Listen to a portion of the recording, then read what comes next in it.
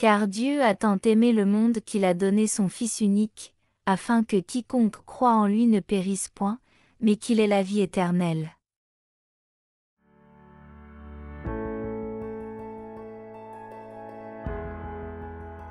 For God so loved the world, that he gave his only begotten Son, that whosoever believeth in him, should not perish, but have everlasting life.